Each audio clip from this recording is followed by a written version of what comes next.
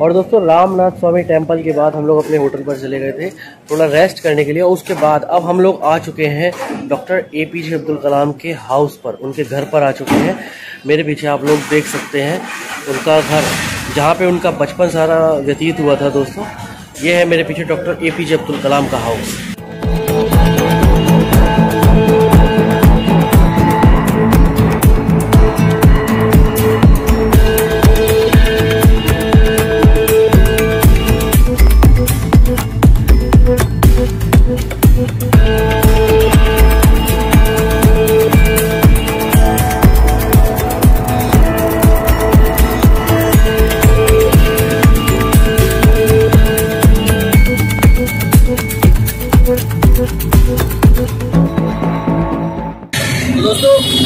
doctor A P J Abdul Kalam का house देखने के बाद हम लोग अब निकल चुके हैं यहाँ पे पंचमुखी हनुमान टेंपल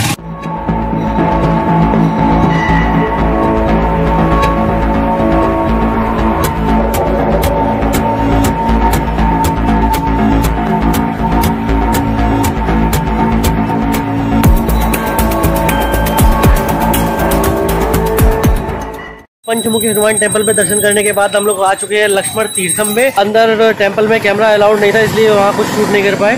अब हम लोग लक्ष्मण तीर्थम में आ गए, यहाँ पर अंदर देखते हैं, दर्शन करते हैं और आपसे मिलते हैं दर्शन करने के बाद।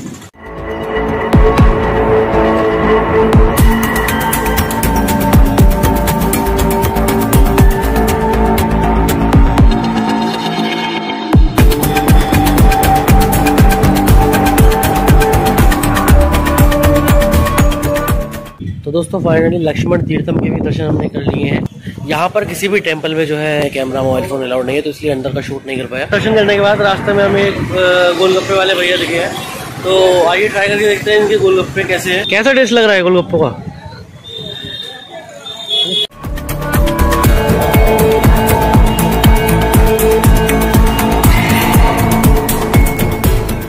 फाइनली रामेश्वरम घूमने के बाद अब हम निकल चुके हैं यहाँ से रामनाथपुरम के लिए, जहाँ से हम मदुरई जाएँगे और मदुरई से वाया ट्रेन जाएँगे कन्याकुमारी के लिए। रामेश्वरम से आ चुके हैं रामनाथपुरम और मेरे पीछे है Ramanathapuram railway station.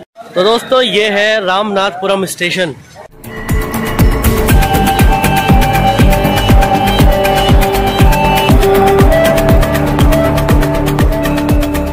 Ramanathapuram station पर इस वक्त हम हैं और हमारे साथ हैं इंडियन रेलवेज के पॉइंट्समैन अ, श्री मीठालाल मीणा जी। तो आइए यहाँ के कल्चर यहाँ के लोगों के बिहेवियर के बारे में थोड़ा सा आपसे जो है बातचीत करते हैं।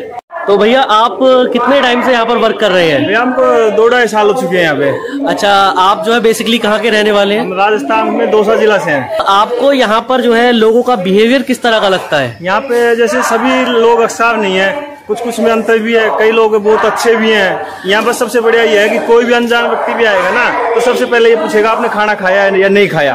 Okay okay. खाने के लिए और चाय के लिए हमेशा पूछता है चाहे कोई सा भी समय हो। यहाँ पे जो भी व्यक्ति आता है बस तमिलनाडु के लोगों की यही खासियत है। बिल्कुल आपने ये बात तो सही कही ये बात तो मैंने भी यहाँ पर आकर फील की है। अ, अच्छा आप मुझे ये बताएँ आप में यहाँ पर रामेश्वरम जो है अ, हमारे हिंदू का चा- पवित्र चार धामों में से एक वहाँ पर आप गए दर्शन करने हाँ, के लिए? गए तो कैसा एक्सपीरियंस रहा आपका? रामेश्वर धाम है का मंदिर एशिया में सबसे बड़ा मंदिर है। एशिया में इतना बड़ा मंदिर कोई सा नहीं है इसके अंदर बाईस कुंड है। यहाँ का एटमोसफेयर कैसा है? की मतलब गर्मी पड़ती है कि ज़्यादा ठंड पड़ती है कि किस तरह का है यहाँ पर? यहाँ हर समय मतलब एक जैसा मौसम रहता है। बरसात के समय भी जैसे उमस वगैरह ज़्यादा रहती है यहाँ कूलर को यूज़ नहीं कर सकते अपन लोग। यहाँ उमस ज़्यादा बनाता है हवा चलती है तो अपना क्या होता है नमक आ जाता है यहाँ पे। गले में जैसे ये नमक उमस की वजह से पसीने हर टाइम आते रहते हैं। और यहाँ का इडली और डोसा बहुत फ़ेमस है। तो आप लोग बेसिकली यहाँ पर ज़्यादातर इडली डोसा खाते हैं कि जो है अपना नॉर्थ नॉर्थ साइड का या कोई फ़ूड पसंद करते हैं? मेरे को तभी जाके इडली डोसा सूट किया नहीं। अपने साइड के लोग हैं मतलब तमिलनाडु के लोग ये बोलते हैं और मानना भी यही है अगर जो इडली डोसा नहीं खाएगा ना तो तमिलनाडु में आके नहीं खाए ना ऐसे लगा पूरा मज़ा नहीं लिया तो बिल्कुल बिल्कुल बिल्कुल आपने सही कहा। तो मीठालाल मीणा जी बहुत अच्छा लगा आपसे बातचीत करके। हमारे साथी Mast Ram Meena Sawai Madhopur Sawai Madhav you are also from Rajasthan. तो आप बताए आपका एक्सपीरियंस कैसा है यहाँ पर? ठीक है अच्छा है नहीं। नहीं, मैं नहीं खाता आप ऐसे मुझे थोड़ा थोड़ा साउथ इंडियन लग रहे हैं। अपने नॉर्थ में और इंडिया ऐसा है नॉर्थ में साउथ में इतना फ़र्क है यहाँ महँगाई बहुत ज़्यादा है। जैसे हम आटा लेते हैं तो फिफ्टी एट रुपए के जी है। ओके ओके टोमेटो ले लो तो हंड्रेड रुपए एट मतलब एट्टी रुपए से कम है पर के जी से कम कोई सी सब्ज़ी नहीं है यहाँ पे। यहाँ पे खाने को सापड़ बोला जाता है। अच्छा आप भी यहाँ पर पॉइंट्स मैंने इंडियन रेलवे के। हाँ रेलवे स्टेशन अगला स्टेशन तो आप लोगों से बात करके बहुत अच्छा लगा।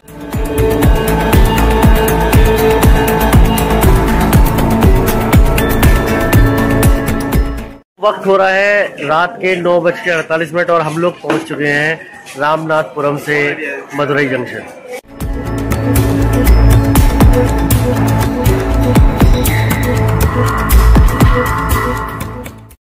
तो दोस्तों, मदुरई जंक्शन से बाहर निकलने के बाद हमें थोड़ा भूख लग रही थी तो सोचा कि थोड़ा पहले पेट पूजा कर ली जाए, उसके बाद आगे की यात्रा करेंगे।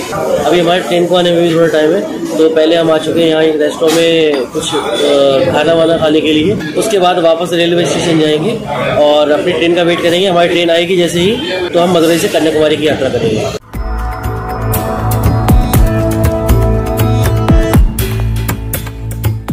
तो दोस्तों, अभी हमारा खाना बना हो गया है। मेरे पीछे जो रेस्टोरेंट देख रहे हैं, इसका नाम है श्री सबरीज रेस्टोरेंट तो दोस्तों, यहाँ पर हमने अभी अपना डिनर कर लिया है और अब यहाँ से हम लोग निकल रहे हैं रेलवे स्टेशन के लिए। वहाँ पर जाकर अपनी ट्रेन का वेट करेंगे और ट्रेन आने पर हम लोग वाया ट्रेन जाएँगे कन्याकुमारी के लिए।